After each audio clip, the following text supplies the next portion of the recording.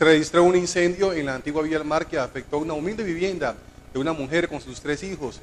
La causa fue una veladora que se quedó encendida.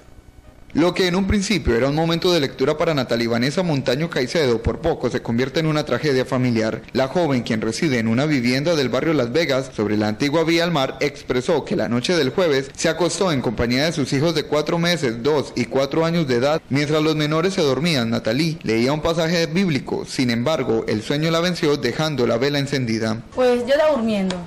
Cuando me desperté, pues, o sea, me desperté, no sé, me desperté cuando vi que estaba el toldillo y, la, y las sábanas prendía. Yo que yo me levanté y empezaba a cubrir todo, pues, hasta que apagué y salí.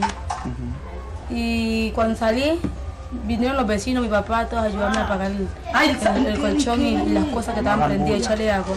Por fortuna, el hecho no pasó a mayores, sin embargo, esta familia se quedó sin el único elemento que tenían para dormir, un colchón de algodón que encima de un plástico negro en el piso servía como el lugar de descanso de la joven y sus pequeños. ¿Le presentan heridas los niños? Sí, quemadura. ¿En qué parte? En los pies, en la espalda. Sí, en los pies y en la espalda. ¿Usted también alcanzó a quemarse? Sí, los pies, los dos pies.